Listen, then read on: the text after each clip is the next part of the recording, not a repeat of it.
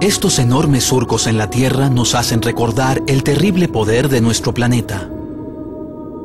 Son las fallas, las fracturas en la corteza de la Tierra donde las inmensas placas lentamente chocan unas con otras. No podemos ver la mayoría de las fallas, pero la falla de San Andrés es claramente visible en la superficie aquí en California.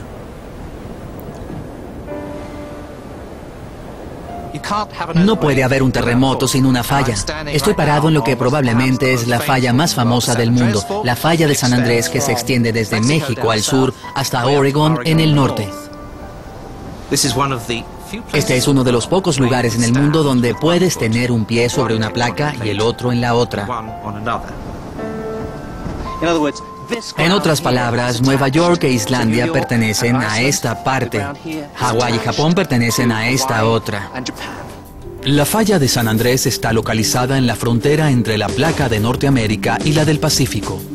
Se le llama la falla del golpe y resbalón, un lugar donde chocan las dos placas y tratan de deslizarse una sobre otra. En ocasiones se atoran al moverse o correrse en varias direcciones. Más y más tensión se acumula mientras más tiempo permanezcan atoradas y el terremoto que se produzca será de mayor intensidad. En otros lugares las placas se mueven suavemente una sobre otra. Estas áreas se abomban al moverse la Tierra. Los cambios son sutiles. Roger Bilham lleva el registro de estos cambios con su arrastrómetro, un aparato que mide el movimiento a lo largo de la falla. Una computadora registra los datos cada minuto durante un año. Este brinco en la gráfica indica que la Tierra se movió cerca de 5 milímetros en un par de horas. Un pequeño movimiento como este puede traernos graves consecuencias. Parece no tener importancia, 5 milímetros, pero está afectando muchas toneladas de roca en una sección de unos 8 kilómetros de largo. Aquí no tiene importancia realmente.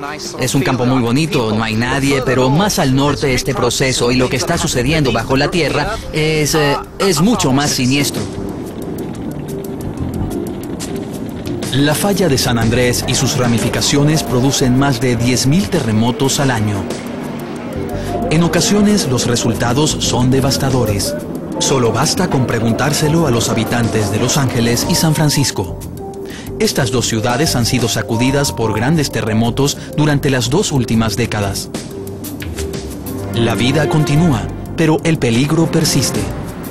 El siguiente gran terremoto podría ocurrir en cualquier momento en un área tan activa como esta.